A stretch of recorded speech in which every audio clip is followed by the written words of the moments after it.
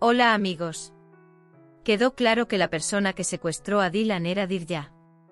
¿Estábamos esperando? Sí, junto con ustedes, mis seguidores, nuestra predicción resultó ser cierta. Ahora interpretemos nuestro tráiler con nuevas preguntas y respuestas. Si quieres que el fuego vuelva a encender el amor de Dylan y Baran, no olvides apoyar mil me gusta. Baran, le dije a Dylan que estás a salvo aquí. Pero no pude protegerlo, dice. Mientras se culpa a sí mismo, encuentra el apoyo de Cian a su lado. Al ver a su hermano triste, Cian quiere hacerle sentir que está con él. Cian le dice que incluso si algo le pasara a Dylan, encontrará una forma de protegerse. Ahora la familia está casi segura de que algo le ha pasado a Dylan. Dios del destino ruega que protejas a mi Dylan, perdonala a Baran. Mientras tanto, Dirja dejó inconsciente a Dylan y lo llevó de regreso a la cabaña. Dirja, que se esconde con un pasamontañas, lucha por recuperar la sobriedad. Dylan se quita la máscara mientras Dirja intenta volver a dejarla inconsciente con la droga. Sin embargo, se desmayó sin verlo. Mientras tanto, Baran llama a Dylan.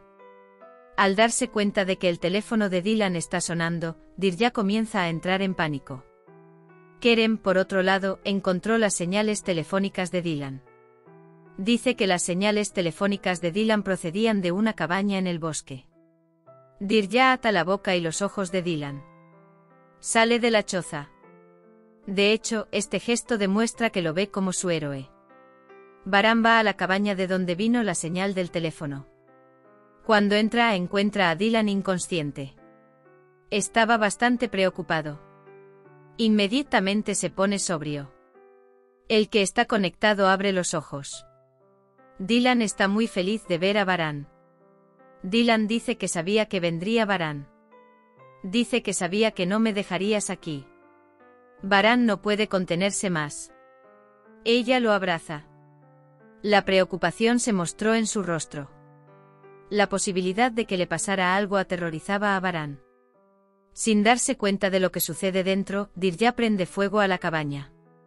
Ahora Baran mostró una vez más su brujería al decir que será solo mío. Mientras Baran y Dylan están adentro, el fuego les impide salir.